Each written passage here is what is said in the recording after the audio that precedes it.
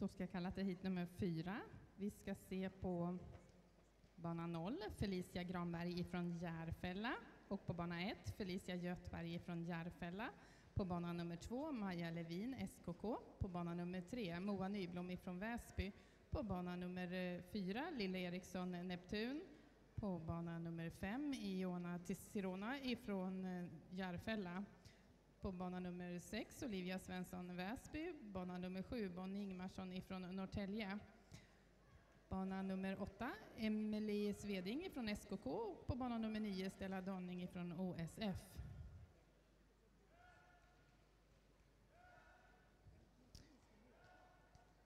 Jag har en diskvalifikation för gren nummer 17. Det är hit nummer 2, bana nummer 4, som diskvalificeras för felaktig vändning.